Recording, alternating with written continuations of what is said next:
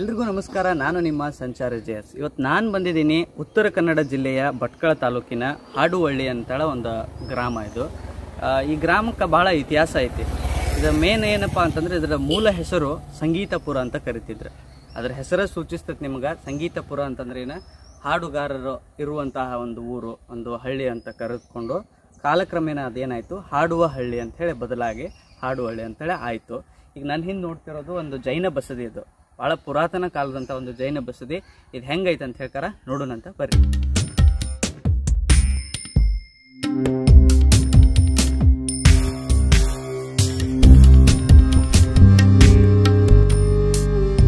ನಿಮಗೆಲ್ಲ ಗೊತ್ತೈತಿ ನಮ್ಮ ದೇಶ ಮತ್ತು ನಮ್ಮ ನಾಡು ಎಷ್ಟು ಸಂಪದ್ಭರಿತವಾಗಿತ್ತಪ್ಪ ಅಂತಂದ್ರೆ ಬ್ರಿಟಿಷರು ನಮ್ಮ ದೇಶಕ್ಕೆ ಬರೋದಕ್ಕೆ ಮೂಲ ಕಾರಣನ ಮಸಾಲೆ ಪದಾರ್ಥಗಳು. ಯಾಕೆ ಅದ್ರ ಬಗ್ಗೆ ಮಾತಾಡ್ತಿದ್ದೀನಿ ಅಂತಂದ್ರೆ, ಈ ಒಂದು ಪ್ರದೇಶ, ಆ ಒಂದು ಮಸಾಲೆ ಪದಾರ್ಥಗಳಿಗೆ ಭಾಳ ಫೇಮಸ್ ಆಗಿತ್ತು. ಅದರಲ್ಲಿ ಮೇನ್ ಉದ್ದೇಶ ಅಂತಂದ್ರೆ ಮೇಲ ಮೂಲತಃವಾಗಿದ್ದು ಈ ಕರಿ ಮೆಣಸಿನ ಕಾಳು ಪೆಪ್ಪರ್ ಸೀಡ್ಸ್ ಅಂತ ಏನು ಕರಿತೀವಿ? ಅದು ಇಲ್ಲಿ ಮೂಲತಃ ಇರುವಂಥ ರಾಣಿ ಕರಿ ಮೆಣಸಿನ ರಾಣಿ ಅಂಥೇಳಿ ಪ್ರಸಿದ್ಧಳಾಗಿದ್ಲು. ಚೆನ್ನ ಭೈರಾದೇವಿ ಅಂತೇಳಿ ರಾಣಿ ಹೆಸರಾಗಿತ್ತು. ಆ ರಾಣಿಗೆ ಕರಿ ಮೆಣಸಿನ ರಾಣಿ ಅಂತ ಕರಿತಿದ್ರು. ಇಲ್ಲಿ ಭಟ್ಕಳದಲ್ಲಿ ಬಂದರು ಐತೆ ಅದರದ್ದು ಅಂದ್ರೆ ಫೋರ್ಟ್ ಸೊ ಇಲ್ಲಿಂದ ಬೇರೆ ದೇಶಗಳಿಗೂ ಅದು ರಫ್ತಾಗ್ತಿತ್ತು ಅಂತ ಹೇಳ್ಕಾರ ಹೇಳ್ತಾರೆ ಒಂದು ಮಾಹಿತಿ ಪ್ರಕಾರ. ಜೈನ ಮಠದ ಕೇಂದ್ರವಾಗಿದ್ದ ಹಾಡುವಳ್ಳಿ ಸಂಗೀತಪುರ ಅಲ್ಲಿ ಅಲಂಕಾಚಾರ್ಯರಿಂದ ಸ್ಥಾಪಿತವಾದ ಜೈನ ಮಠವಿತ್ತೆಂದು ಇಲ್ಲಿ ಸುಮಾರು ಹದಿನೇಳು ಜನ ಪೀಠಾಧಿಪತಿಗಳಾಗಿದ್ದರೆಂದು ಐತಿಹಾಸಿಕ ದಾಖಲೆಗಳಿಂದ ತಿಳಿದುಬರುತ್ತದೆ. ಈ ಕ್ಷೇತ್ರವು ಕರಾವಳಿ ಕರ್ನಾಟಕ ಭಟ್ಕಳದಿಂದ ಸಾಗರ ರಸ್ತೆಯಲ್ಲಿ ಹದಿನೇಳು ಕಿಲೋಮೀಟರ್ ದೂರದಲ್ಲಿದೆ. ಇಲ್ಲಿ ಸಾಳುವ ವಂಶದ ದೊರೆಗಳು ಆಡಳಿತ ನಡೆಸಿದ್ದರೆಂದು ತಿಳಿದುಬರುತ್ತದೆ. ವಿಜಯನಗರ ಚಕ್ರವರ್ತಿಗಳ ಕಾಲದಲ್ಲಿ ಭಟ್ಕಳ ಹಾಡುವಳ್ಳಿ ವೇಣುಪುರ ಸೇರಿದಂತೆ ಕರಾವಳಿ ಮತ್ತು ಶಿವಮೊಗ್ಗ ಜಿಲ್ಲೆಯ ಹೆಚ್ಚಿನ ಪ್ರದೇಶಗಳು ಈ ರಾಜ್ಯದ ವ್ಯಾಪ್ತಿಗೆ ಒಳಪಟ್ಟಿದ್ದವು. ಕ್ರಿಸ್ತಶಕ ಹದಿನಾಲ್ಕುನೂರ ಎಂಟರ ಶಾಸನದಲ್ಲಿ ಹೈವಭೂಪ ಕ್ರಿಸ್ತಶಕ ಹದಿಮೂರುನೂರ ಎಪ್ಪತ್ತೈದರಿಂದ ಹದಿನಾಲ್ಕುನೂರವರೆಗೆ ಸಂಗೀರಾಯನನ್ನು ಹಾಡುವಳ್ಳಿಯ ಪುರಾವಧೀಶ್ವರ ಎಂದು ವರ್ಣಿಸಲಾಗಿದೆ. ಬಹುಶಃ ಈತನ ಆಳ್ವಿಕೆ ಅವಧಿಯಲ್ಲಿ ಅಥವಾ ಇದಕ್ಕಿಂತ ಮೊದಲು ಈ ಬಸದಿಯ ನಿರ್ಮಾಣಗೊಂಡಿರಬೇಕು ಎಂದು ಹೇಳಲಾಗುತ್ತದೆ. ಯಾಕೆಂದರೆ ಇವರ ನಂತರ ಆಳ್ವಿಕೆ ನಡೆಸಿದ ಸಾಳುವೇಂದ್ರ, ಸಾಳುವೇಂದ್ರನ ಅವಧಿಯ ಶಾಸನ ಕ್ರಿಸ್ತಶಕ ಹದಿನಾಲ್ಕುನೂರ ಇಪ್ಪತ್ತೊಂಬತ್ತರಲ್ಲಿ ಈ ಬಸದಿಯ ಎದುರಿಗೆ ಕಂಚಿನ ಮಾನಸ್ತಂಭ ಸ್ಥಾಪನೆ ಮಾಡಿದ್ದ ವಿವರ ಇದೆ. ಇವರ ನಂತರ ಅನೇಕ ಮಂದಿ ರಾಜರು, ರಾಣಿಯರು ಸಹ ಇಲ್ಲಿ ಆಳ್ವಿಕೆ ನಡೆಸಿದ್ದರು.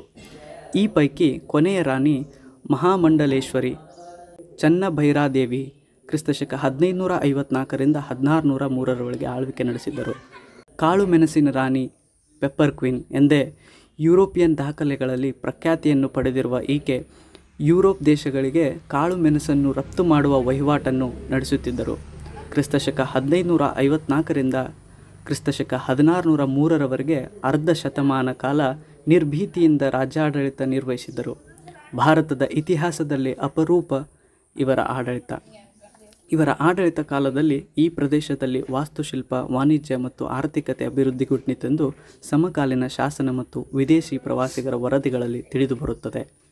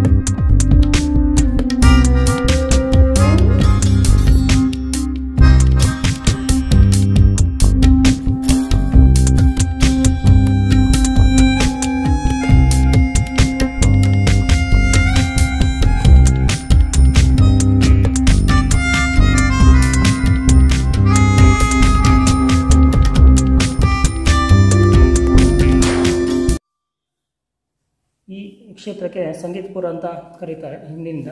ಇವಾಗ ಇದು ಹಾಡೋಳ್ಳಿ ಅಂತ ಆಗಿದೆ ಈ ಕ್ಷೇತ್ರದ ಮೂಲ ತೀರ್ಥಂಕರು ಚಂದ್ರನಾಥ ಸ್ವಾಮಿ ಆ ಕಡೆ ತಗೊಳ್ಳಿ. ಚಂದ್ರನಾಥ ಸ್ವಾಮಿ ಮೂಲ ತೀರ್ಥಂಕರು. ಆ ಕಡೆ ಜೀರ್ಣೋದ್ಧಾರ ಆಗ್ತಾಯಿದೆ ಅದರ ಬಸ್ತಿಯ ಜೀರ್ಣೋದ್ಧಾರ ಆಗ್ತಾಯಿದೆ ಹಾಗಾಗಿ ಈಗ ಇಲ್ಲಿ ಇಟ್ಕೊಂಡು ಪೂಜೆ ಮಾಡ್ತಿದ್ದೀವಿ ಹೀಗೆ ಹಾಗೆ ಇಪ್ಪತ್ನಾಲ್ಕು ತೀರ್ಥಂಕರು ನಿಮ್ಗೆ ನೋಡೋಕೆ ಸಿಗೋದು ಈ ಕ್ಷೇತ್ರದಲ್ಲಿ. ಹಳೆ ಅಂದರೆ ಕ್ರಿಸ್ತಶಕ ಹನ್ನೆರಡನೇ ಶತಮಾನದಲ್ಲಿ ಆದಂಥ ಸಾ- ಸಾಳ ವರ್ಷದ ಕಾಲದಲ್ಲಿ ಆದಂಥ ಇಪ್ಪತ್ನಾಲ್ಕು ತೀರ್ಥಂಕರರ ಆ, ಮೂರ್ತಿ ಜಿನಬಂಧುಗಳನ್ನು ಒಂದೇ ಪೀಠದಲ್ಲಿ ನೀವು ನೋಡ್ಬೋದು. ಈ ಚಂದ್ರಗಿರಿ ಮುಖ ಇಂದ್ರಗಿರಿ ಅಂತೇಳಿ ಎರಡು ಇದು ಬರುತ್ತೆ. ಕೂಡ ಚಂದ್ರಗಿರಿಯಲ್ಲಿ ಒಂದು ಸಂಗೀತ ಕಚೇರಿ ನಡೀತಿತ್ತಂತೆ. ಇಂದ್ರಗಿರಿಯಲ್ಲಿ ನಿಂತ್ಕೊಂಡು ಅದೇ ರೀತಿ ಸ್ಪಷ್ಟವಾಗಿ ಕೇಳ್ಬೋದು ಮತ್ತು ನೋಡ್ಬೋದಾಗಿತ್ತಂತೆ.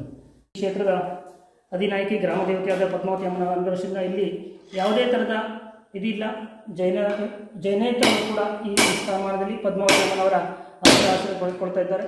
ಸ್ಪಷ್ಟವಾಗಿ ಎಲ್ಲರೂ ಬಂದು ತಾಯಿಯ ಅನುಗ್ರಹ ಆಶ್ರಮದಿಂದ ಇಲ್ಲಿ ನವರಾತ್ರಿ ಹಾಗೆ ವಿಜೃಂಭಣೆಯಿಂದ ನಡೀತದೆ. ಅಮ್ಮನವರ ಅನುಗ್ರಹ ಆಶ್ರಮದಿಂದ ಸರ್ವತ್ರ ಈ ಊರಲ್ಲಿ ಒಳ್ಳೆಯದಾಗ್ತಿದೆ ತಾಯಿ ಪದ್ಮಾವತಿಯ ಅನುಗ್ರಹ ಆಶ್ರಮಕ್ಕೋಸ್ಕರ ಸರ್ವಧರ್ಮದವರು ಬಂದು ಇಲ್ಲಿ ಪೂಜೆ ಕಾರ್ಯಗಳನ್ನು ಮಾಡಿಕೊಡ್ತಾರೆ ಅಮ್ಮನವರಿಗೆ ತುಂಬ ನಡ್ಕೊಳ್ತಾರೆ. ಅದರ ಅನುಗ್ರಹ ಆಶ್ರಮದಿಂದ ಈಗ ಈ ಹಾಡೋಳಿಯಲ್ಲಿ ಈಗ ಹದಿನೆಂಟು ಬಸ್ತಿ ಇದ್ದಂಥ ಈ ಸ್ಥಾನಮಾನದಲ್ಲಿ ಈಗ ನೋಡೋಕ್ಕೆ ಎರಡು ಮೂರು ಬಸ್ತಿಗಳಷ್ಟೇ ಸಿಗುತ್ತೆ.